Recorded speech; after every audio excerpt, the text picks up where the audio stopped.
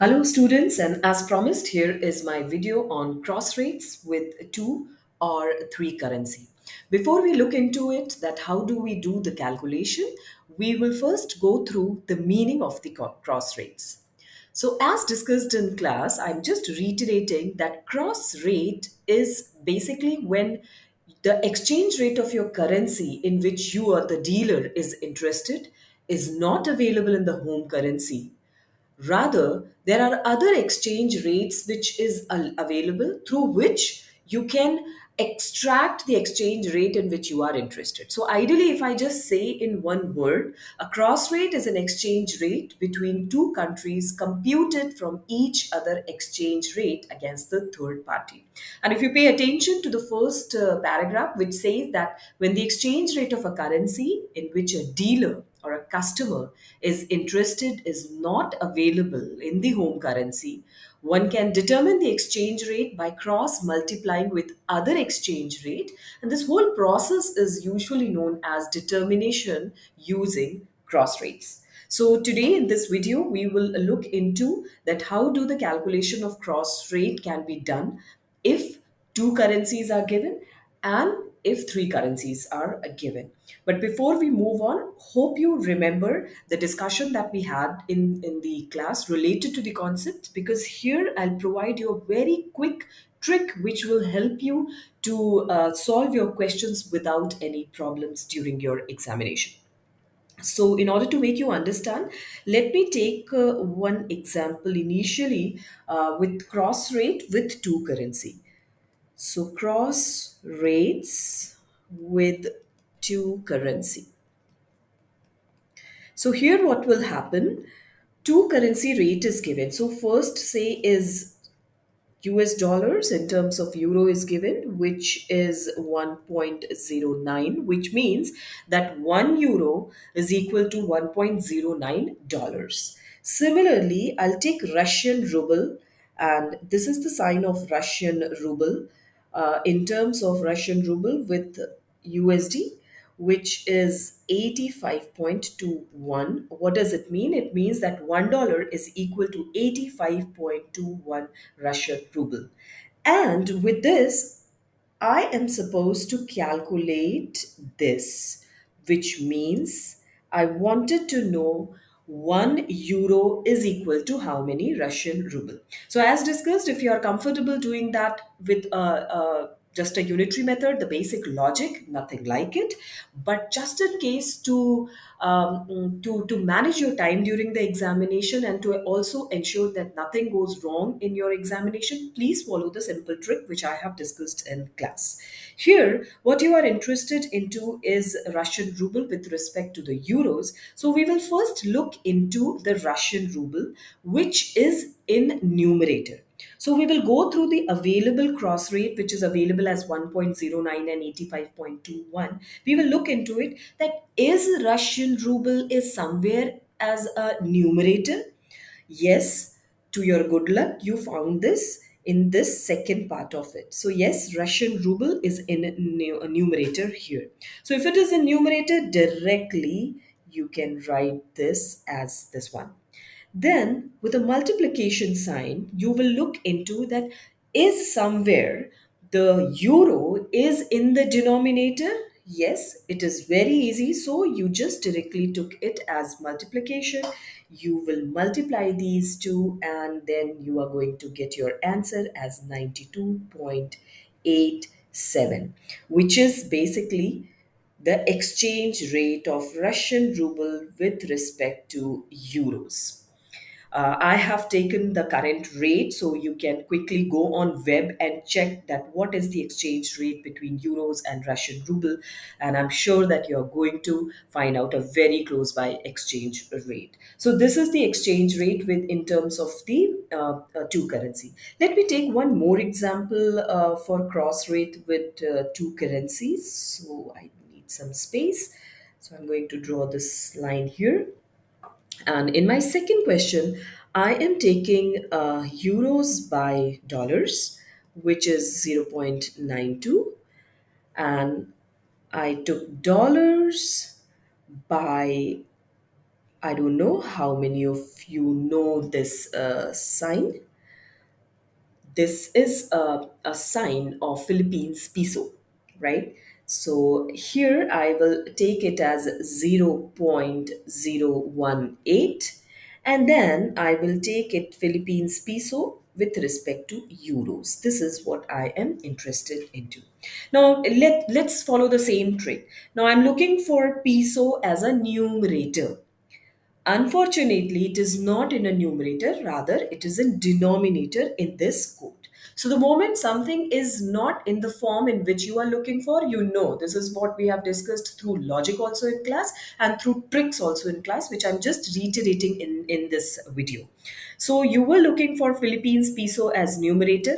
In the available quote, you found Philippines peso in denominator. So which rule you are going to apply? It's a division rule, which means I am going to do 1 divided by 0, 1, 8. Now this is for peso. Let's do it for euros. I'm looking for euro somewhere in denominator, in denominator. Unfortunately, euro is there but not in denominator. So again, if it is not in the same form as what you are looking for, you have to apply the division rule, which is what you are doing it here right? And if you simplify this, which means that you are going to do 1 divided by, let me calculate, it is 0.018 multiplied by 0.92 it is coming across 0.01656 which in turn will give you 60.386 so what does it mean? It means this is the rate that i was looking for. It is a Philippines peso by euros is equal to 60.386, which means that 1 euro is equal to 60.386 Philippines peso. So this is what exactly all about your cross rate with two currency. Let me quickly take you and finish up the video with my last part of discussion with, wherein I wanted to do the cross rate with three currency. So what will happen if you are supposed to calculate a cross rate with three currency code? Okay, so here if I will look into it, and let me take first uh, first question, uh, which talks about say rupee, Indian rupee by dollars is equal to 81.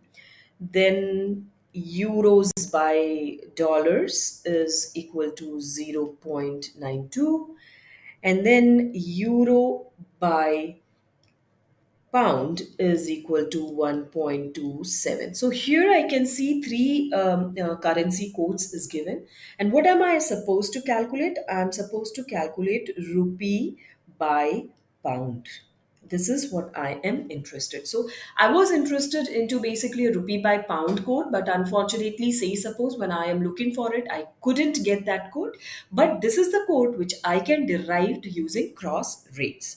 And again we'll follow the same rule as what we were doing with just a small difference um, that here first we will pay attention to rupee and we will look into the question is rupee somewhere in the numerator yes the rupee is uh, in the numerator. So if i just write that how's the code written for rupee in numerator? So it is basically the first code okay the first code which is written as rupee by uh, dollar. Then i will look for uh, basically the pound. That is the pound is in denominator somewhere right? So it is. So if you follow this step from here on that your question will turn wrong that's a very common mistake that a student tend to do that they uh, started applying the concept for cross rate with two currency in three currency. This is not what you have to do okay? So once your um, indian rupee quote you have written now you have to cross multiply. This means in order to cross multiply you need dollar somewhere as a numerator. This means i need dollars as a numerator right? So you will check that is dollars because you want this two here so that these two will get cancelled. So basically you are looking for this. So just check is it there?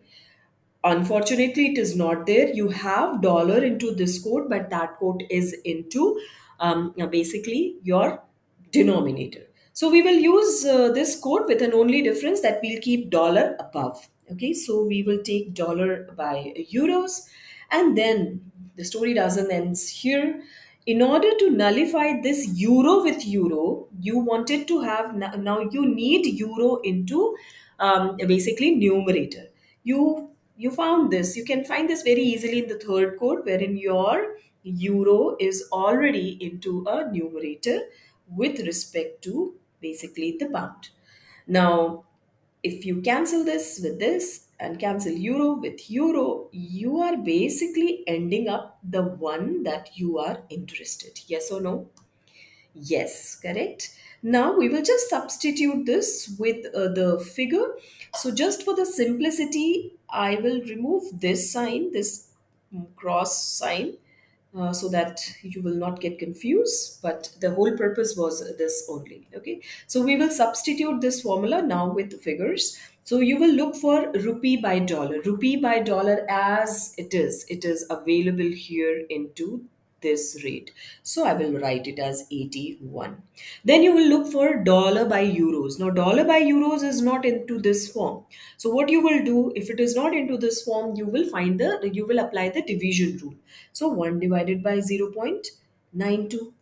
Then you will look for euro by pound. Euro by pound is directly available. So you will write it as right as it is, which means it is 81 multiplied by 1.27 divided by 0.92 and this is the rate that you are calculating for rupee by pound if I just quickly multiply this divided by 0.92 I'm getting an answer as 111.81. What does it mean? That one pound is equal to this much of rupee. So this is the currency code that I plan to discuss. Let me solve one more question for your better understanding. This is a request from one of your batchmate wherein uh, she has asked me that she needs some questions to practice and um, related to the cross rate. So this is especially for that student.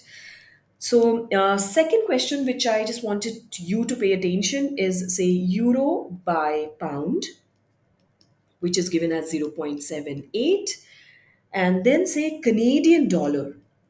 Canadian dollar by pound, which is given as 0.54 and third one will be dollar by Canadian dollars, which is given as 1.28. And what am I interested? I'm interested into dollar by euros. This is what I have to calculate. So again, it's a three quote. As it is, you have to pay attention to the dollars that do. Are you having in the available quote anywhere dollar as numerator? Yes, you have it here. So we will just write the first, the notations for the quote. So dollar by Canadian dollar. Now you know in order to cross multiply, you need Canadian dollar at the top and just check that do you have Canadian dollar as a numerator? Yes, you have it here. So you will write Canadian dollars divided by pounds. And now you know that in order to cross multiply your pound, you need pound as a numerator, just check it out in the third quote that is it in the numerator? No, it is not in the numerator. Pound is in the denominator. And therefore, you will write the quote as pound divided by euros. Right?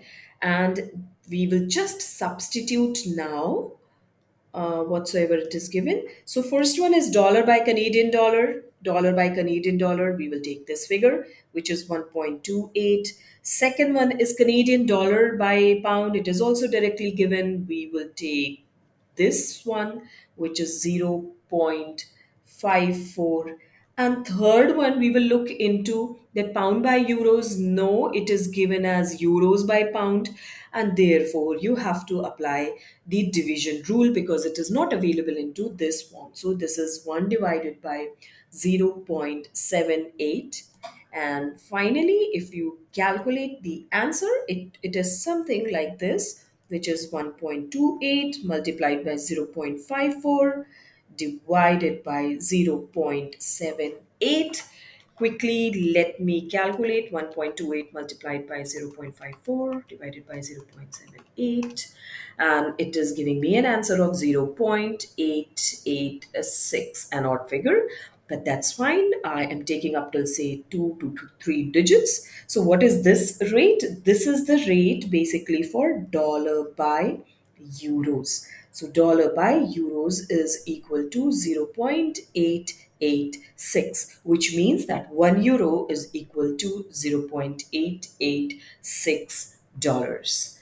Thank you and all the best for your exam.